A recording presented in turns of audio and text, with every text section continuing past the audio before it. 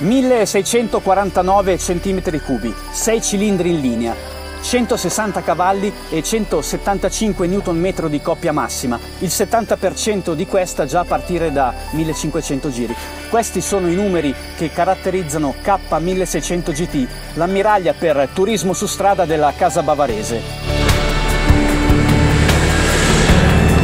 La K1600 GT eh, non è cambiata per questo 2014, a parte le colorazioni diverse. Ora la moto è disponibile in grigio chiaro metallizzato come la vedete in questa prova e in rosso metallizzato. La moto è quella che già conosciamo con tutte le caratteristiche e la tecnologia di BMW Motorrad. Questa moto è dotata del faro adattivo che permette di seguire la traiettoria, il fascio luminoso segue attraverso delle parabole, oscilla e illumina le curve, cosa molto utile soprattutto nella guida notturna. È un gadget necessario che va a incrementare la sicurezza di questa ammiraglia a 6 cilindri.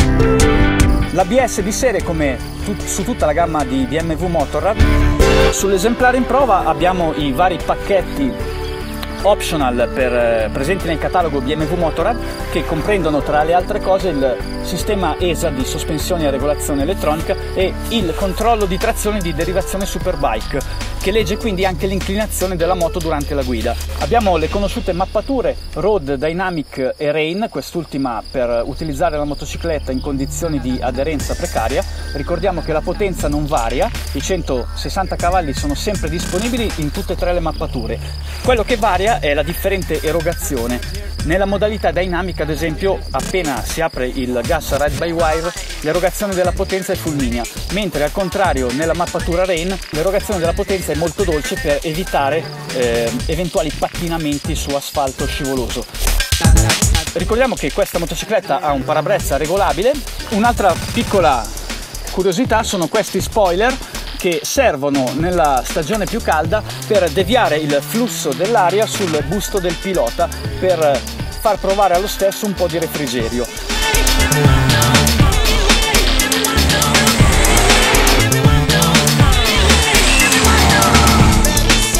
Altri optional della K1600 GT sono ad esempio il cruise control, il regolatore di velocità, sempre molto utile e comodo nelle lunghe percorrenze autostradali.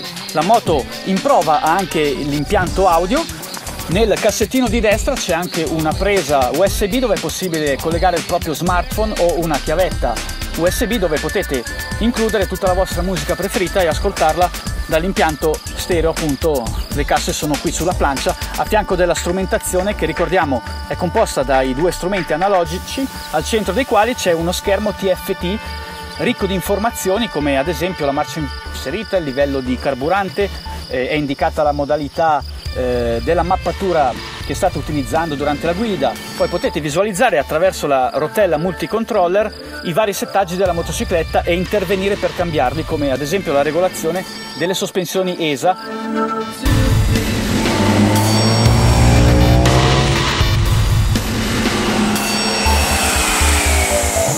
Nonostante i 319 kg in ordine di marcia, la BMW K1600 GT eh, non è impegnativa come si può pensare a prima vista.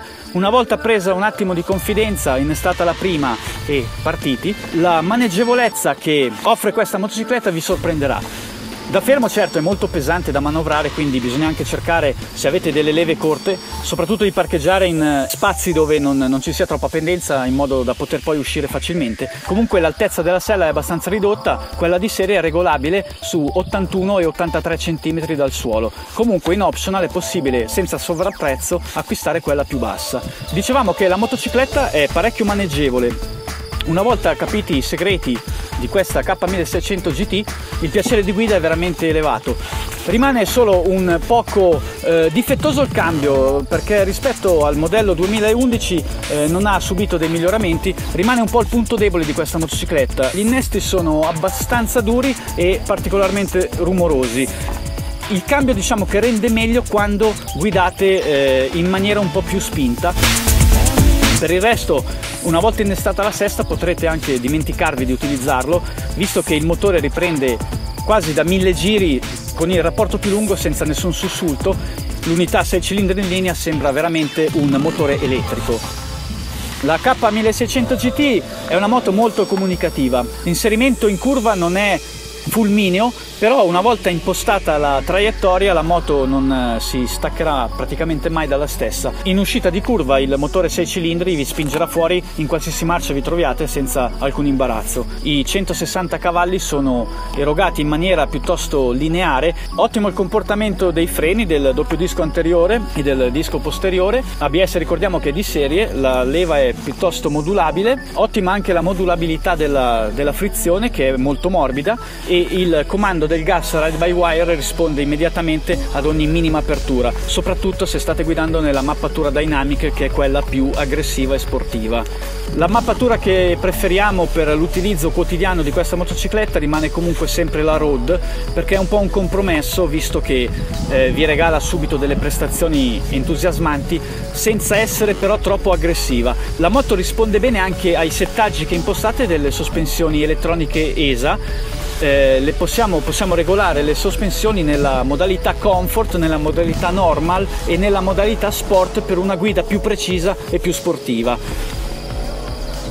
La K1600 GT costa 22.000 euro chiave in mano con primo tagliando incluso. L'esemplare della nostra prova, dotata di tutti i pacchetti di accessori di BMW Motorrad nonché dell'impianto radio, costa 25.240 euro. Bene, per Marco Nava di Mototurismo TV è tutto, ci vediamo alla prossima prova. Ciao a tutti!